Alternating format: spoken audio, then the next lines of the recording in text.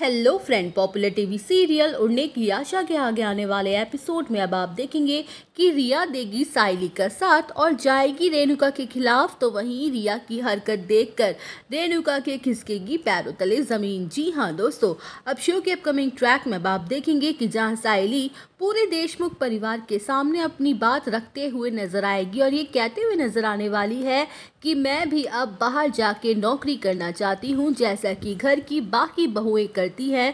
मैं भी अपने पति को फाइनेंशियली सपोर्ट करना चाहती हूँ, जैसा कि बाकी बहुएँ अपने अपने पति को सपोर्ट करती हैं। फ़िलहाल सचिन का काम इस वक्त काफ़ी ज़्यादा मंदा चल रहा है। कभी उसे सवारी मिल जाती है और कभी कभी पूरा पूरा दिन वो सवारी के आने के इंतज़ार ही करता रह जाता है।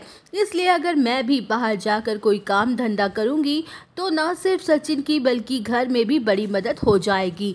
तो वही साहिली की बातें सुनकर रिया खुश हो जाएगी और उसका सपोर्ट करते हुए ये कहते हुए नज़र आएगी कि ये तो आपने पूरे सौ टका अच्छी बात कही, सोची है वही नहीं। मैं भी यही सोच रही थी कि क्यों ना आप भी कोई जॉब करो। पूरा दिन इन घर के कामों में ही लगी रहती हो बिज़ी रहती हो, आप जॉब करो और घर की टेंशन ना लो। घर का सारा काम, सारी ज़िम्मेदारी ये आंटी अच्छे से संभाल लेंगी।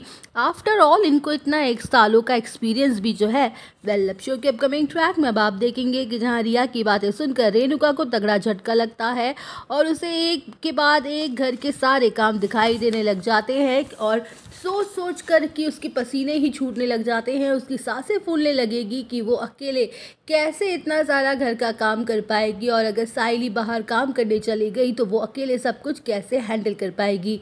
तो वही रेणुका फैसला कर लेगी कि वो साइली को किसी भी कीमत पर जॉब तो करने नहीं देगी। जहाँ रेणुका साइली पर अपना नकली प्यार लुटाते हुए उसकी झूठी फ़िक्र दिखाते हुए कहते हुए नज़र आएगी कि साइली बेटा, तू क्या करेगी जॉब करके? तू तो घर में बैठ के आराम कर। तेरा पति है ना सचिन? वो बहुत ही मेहनती लड़का है। वो अपना काम बखूबी देख लेगा और अच्छे से चला लेगा। तुझे उसकी टेंशन लेने की कोई ज़रूरत नहीं है और तेरा बाहर जाके काम करना सचिन को अच्छा भी तो नहीं लगेगा।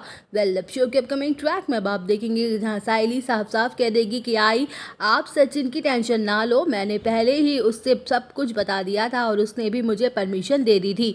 तो वहीं रिया साइली का सपोर्ट करेगी और जॉब दिलवाने की कोशिश करेगी, जहाँ रेणुका रिया को सायली के खिलाफ भड़काने की कोशिश करेगी और कहेगी कि साइली बहुत ही चालाक लड़की है, वो घर के काम से बचना चाहती है, इसलिए जॉब करने की जिद कर रही है। और तुझे उसके बारे में पता नहीं है, वो कैरेक्टरलेस लड़की भी है। तो वहीं दोस्तों, रिया देगी साइली का साथ और रेणुका को देगी मुँह तोड़